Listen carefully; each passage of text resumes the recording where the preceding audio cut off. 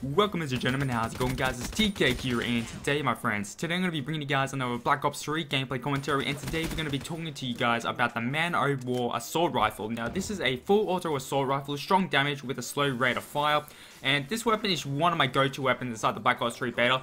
Um, of course, I went to the M8 just because I absolutely love burst fire of guns, but the Man O' War is the best when it comes to like just overall performance you know? It's really good at close range really good at medium range and really good at long range. Like this is one of those weapons that you can really depend on to get the job done and I always pretty much went to it. Um, when I first started like the PC Black Ops 3 beta I went straight to the Man O' War because I knew like the Man O' War was going to be a weapon that I could just use and all that kind of stuff because because like with PC people everyone did not pretty much people that was on Xbox One and played the beta on PS4 they did not pretty much play on PC. You know, like people on PC pretty much only play PC, so that's kind of one of those kind of things. And with that, like I pretty much already know what weapon could be the best weapon to use um, against these people. And with the Man O' War, absolutely wrecked kids on the PC beta. I actually, pretty, I actually pretty much did destroy. I pretty much mentioned that in my other video that I just got absolutely destroyed in the first half. But once I like got the Man O' War I just went absolute ham, man. I nearly got a 20, I nearly got nuclear, man. I nearly got, I got, I went on like a 28 gun streak inside the PC beta,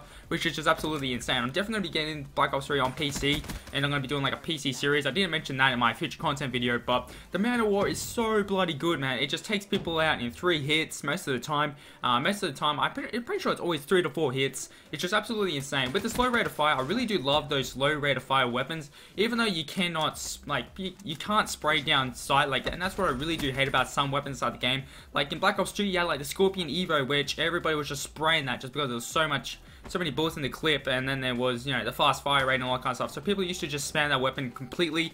Um, what I really do love, I, pretty, I love all the, like, the AKs and all that kind of stuff. Like, those kind of weapons are always my go-to weapons, which I haven't done a, I haven't done a video on the ARK, which is something I should really do before Black Ops 3 gets released.